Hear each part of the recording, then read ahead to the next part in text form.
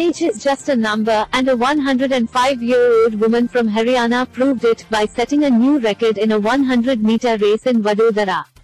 Rambai, a resident of Charkhi Dadri, Haryana, completed a 100 meters race in just 45.40 seconds at the National Open Masters Athletics Championship organized by the National Athletics Federation of India, last week. She also bagged a golden double in sprints after winning the 100 meters race on June 15 and 200 meters in 1 minute and 52.17 seconds on Sunday. No one above the age of 85 years participated in the race where Rambai bagged the first position.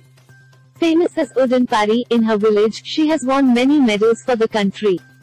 She started running in November 2021 and stunned everyone with her skills by winning four gold medals. Despite being 105 year old, Rambai lives a healthy lifestyle. She wakes up at 5 am and runs for 4 kilometers. Milk, curd, churma and 250 grams of ghee are integral parts of her meal. Not just Rambai, but there are many members of the family who have bagged medals in different sports. Rambai's 62-year-old daughter Santara Devi also won gold in the relay race, while her son Mukhtar Singh and son Vadu Bhatteri both won bronze medals in the 200 meters race.